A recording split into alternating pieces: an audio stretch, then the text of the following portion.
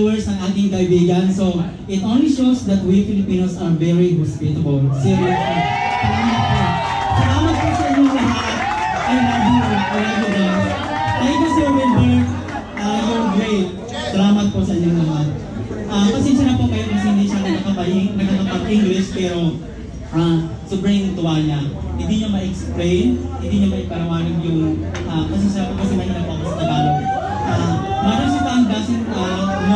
Feeling but uh, on top of everything, she is very thankful and she's very glad to be here in the Philippines. Thank you. And we were the witness of kanina kung gaano siya kamahal ng mga tao, ng mga.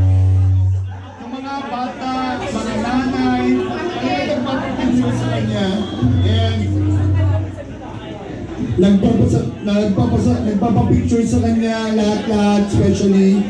And uh, let me go back dito, Peter. Uh, how does it feel to be the transgender uh, with the highest number of followers? How does it feel? It's alright.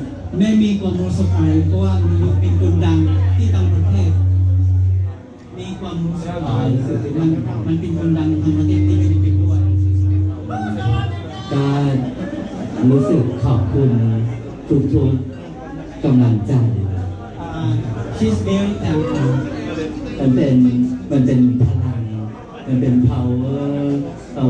listen to me. Now,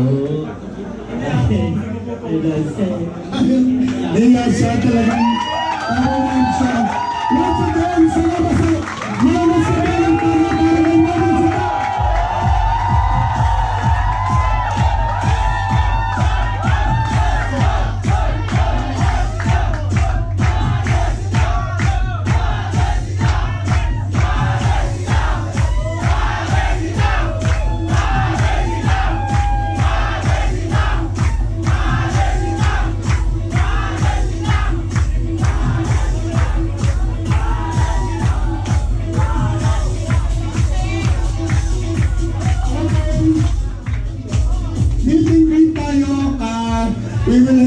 at least siguro 5 by 5 by 5 tayo, no? Unahin natin na We will give you the opportunity to have pictures with Mahon Sitang. So, parang meron lang